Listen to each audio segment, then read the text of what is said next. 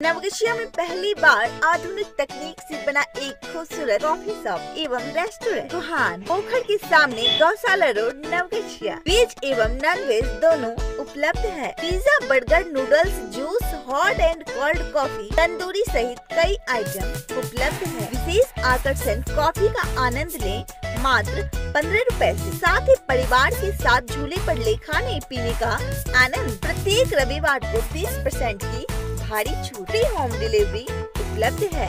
संपर्क करें seven five four nine eight eight eight five nine seven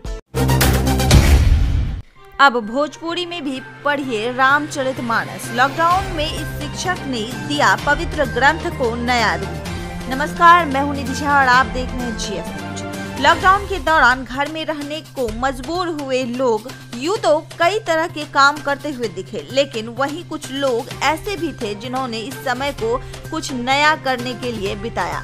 ऐसे ही एक व्यक्ति ने पवित्र रामचरित मानस की पूरी गाथा को भोजपुरी में लिख डाला। यूँ तो रामचरित मानस को कई भाषाओं में रूपांतरित किया गया है, लेकिन भोजपुरी भाषा में इसे अब तक शायद ही लिखा गया होगा। आपराधिक घटना को अंजाम देने के फिराक में थे अपराधी। ग्रामीणों ने धरकर जमकर की पिटाई।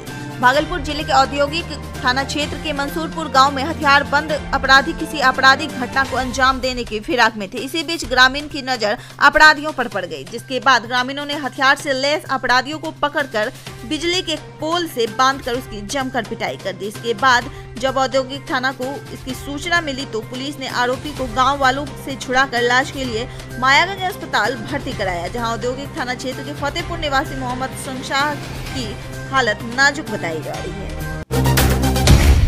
पूर्णिया में बाइक चुराते चोर चढ़ा लोगों के हथे जमकर हुई पिटाई। पूर्णिया ज़िले में इन दिनों चोरी की घटना अपने चरम सीमा पर पहुँच गया है। शाम ढलते ही बाइक चोरी की वारदात से शहर की हर गलियाँ दहशत में आ जाती है। लोग का गुस्सा भी चरम सीमा पर पहुँच गया है। ऐसे में पुलिस जब चोरों की घटनाओं पर अंकुश लगाने में विफल हो गए, तब पब्लिक ने खुद से ही ज़िम्मेदारी उठा ली। जदयू ने तेजस्वी पर किया हमला। नौकरी के नाम पर किसानों की ज़मीन हड़पने वाले को हक नहीं है कि वह उनके लिए मानव श्रृंखला बनाए।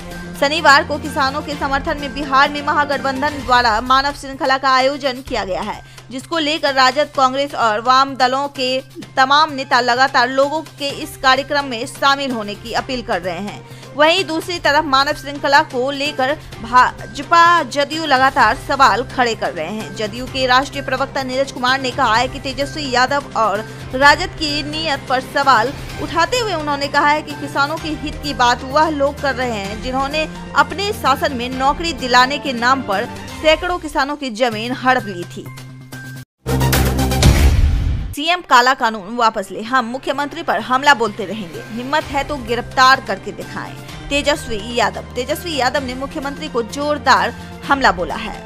उन्होंने कहा है कि सीएम को हम चुनौती देते हैं कि हमें वह गिरफ़्तार करे। सरकार के भ्रष्टाचार के कामों को हम लगातार उजागर करते रहेंगे, और सीपी टैक्स के बिना नीतीश सरकार में कोई काम नहीं होता। इसकी बात हम निरंतर करते रहेंगे। हिम्मत है तो हमें गिरफ़्तार करें। नीतीश कुमार ने सोशल मीडिया को लेकर जिस काले कानून को बनाया है, उसे हर कीमत पर उन्हें वापस लेना होगा। बिहार में 48 इंसानी हड्डियों के साथ तस्कर गिरफ़्तार। नेपाल में कर रहा था सप्लाई। व्यक्ति को गिरफ़्तार कर लिया गया है। जवानों ने बताया कि पकड़ा गया शख्स हड्डी की सप्लाई करने के लिए नेपाल जा रहा था।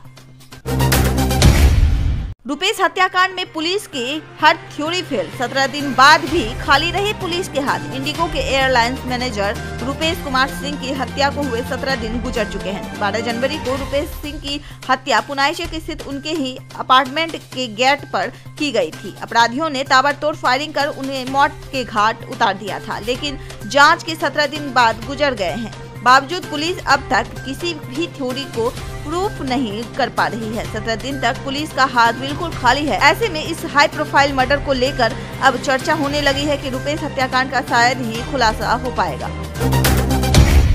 ठंड से सिकुड़ गया बिहार। नहीं है राहत के आसार। राजधानी पटना समेत पूरे सुबह भीषण शीतलहर की चपेट में है। राज्य के लगभग नौ ज़िले में शीतलहर का प्रकोप। ऐसा है कि जन जीवन अस्त व्यस्त हो गया है। इसकी वजह से लोग अपना काम नहीं कर पा रहे हैं। मिली जानकारी के मुताबिक, फ़िलहाल इसमें बहुत बदलाव की उम्मीद नहीं नज़र आ रही है। हफ़्ते भर तक बर्फीली हवाओं का दौर जारी रहेगा। सुबह के वक्त कोहरे का कहर भी देखने को मिलेगा।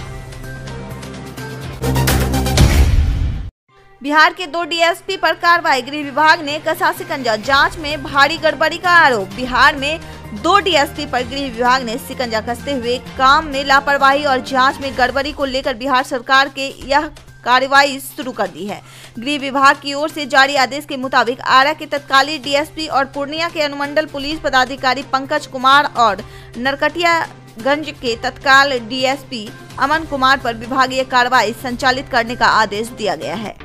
नॉनवेज पसंद करने वालों के लिए खुशखबरी। अब चंपारण मीट का स्वाद नवगछिया के सुंदरम अहुना मटन में, जहाँ चिकन स्टू पचास रूपए, मटन स्टू पैंसठ रूपए, चिकन सिक लेग पीस सौ रूपए, और तो और चिकन थाली मात्र एक सौ पचास रूपए एवं मटन थाली एक सौ पंचानवे रूपए में उपलब्ध है। स्वाद के लिए अवश्य पधारें। सुंदरम अहुना मटन, राजेंद्र कॉलोनी मोड़ नवगछिया फ्री होम डिलीवरी के लिए उपलब्ध है। संपर्क करें eight six zero three four nine three seven four seven अब एक फ़ोन घुमाओ, घर पर सामान पाओ। अब बाज़ार जाकर ही राशन खरीदने की क्या है ज़रूरत? जब ओई मार्ट है आपके लिए तैयार। ओई मार्ट के मोबाइल ऐप या वेबसाइट से करें बाज़ार मूल्य पर खुलकर खरीदारी, पाए होम डिलीवरी ओई मार्ट के मोबाइल ऐप के सीधे व्हाट्सएप से करें संपर्क, सामान का लिस्ट या फ़ोटो खींचकर भेजे कराएँ बुकिंग संपर्क करें eight three four zero three seven one seven eight seven seven three two five zero five two four three